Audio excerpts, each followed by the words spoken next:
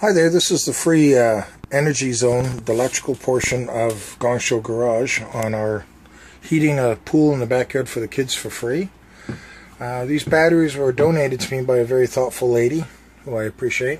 And the charge controller is a very Mickey Mouse, lowest quality one you can get. And I've got it tied up to two inverters. It's a 300 watt one down there, a 200 watt one down here. So basically what I'm going to do is I'm going to turn on the inverter. You can hear it kick on.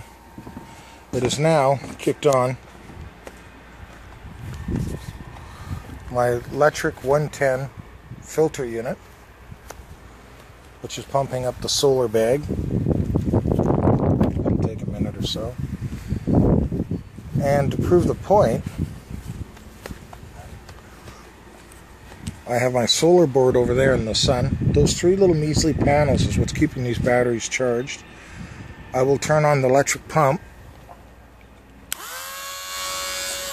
It runs off of one or off the 12 volt batteries.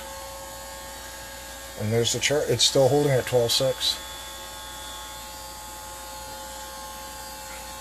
Wiring's a bit of a mess. I'm working on that right now, but and that's just one bank of batteries. These are 1.2 volt batteries each. And as I've been charging them up, they've been holding a charge. These are all the other ones that I just got to come up with the wire connectors for and hook them up. Some of these have got broken off terminals like this one here.